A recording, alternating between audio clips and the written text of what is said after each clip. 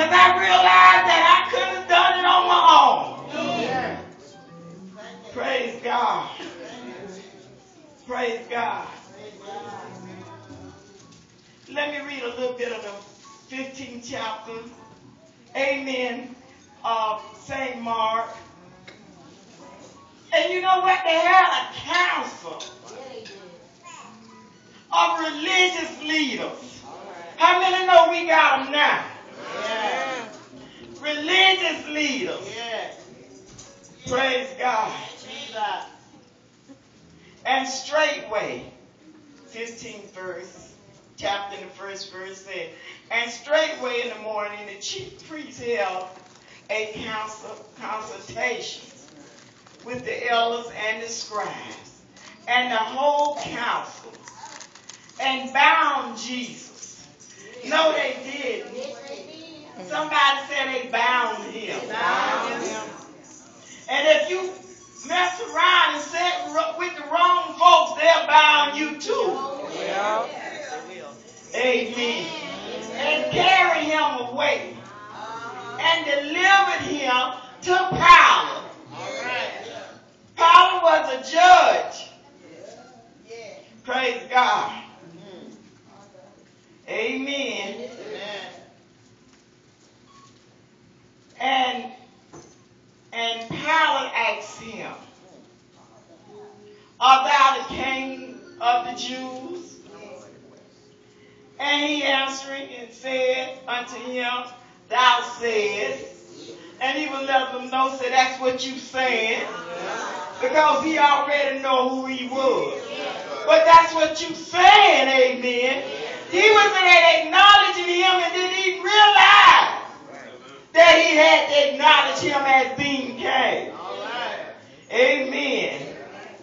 And the chief priests accused him of many things. But he answered nothing. How many in here have been accused of many things? Amen. And you know in your heart that you just didn't do it. But amen, you had to stand before somebody and try to clarify yourself or justify yourself. Has anybody went through that? Yes. But you you could have just sat there and argued back, but you didn't want to do it like that. All right. Because the word of God says a good name is better than what? Riches. Amen. So it's good for us to have a good name. Amen. But Jesus didn't know no evil. The word said wasn't no sin found in it. Ah. No guile was in his mouth. That means he didn't talk trash, amen. No filth was in his mouth. That means that he was a righteous God and a righteous man. But the devil didn't like him, amen. And I tell you, if you stand up for God, he ain't gonna like you either. That's why I don't know why these people won't come to him. Because they don't like you if you ain't in him. And they don't like you if you is in him. I'm saying so. Praise the Lord. He had, they accused him of many things. But he didn't answer nothing. Amen. And Paul asked him again, saying, Answers thou nothing? You ain't gonna say nothing. Nothing. Don't you have anything you want to say Come on. to defend yourself? Amen. You did many things. Many good things, amen. But you ain't got nothing to say down. Y'all think about it. Just put yourself in his place for a few minutes. You here gave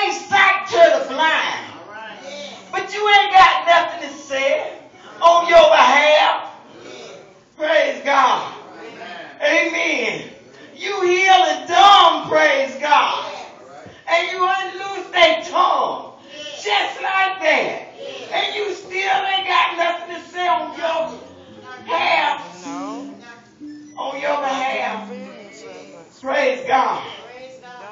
Praise God. listen, they was talking to a man. They could have shot their mouth Uh, and they couldn't have said nothing else. But he didn't work like that. Praise God.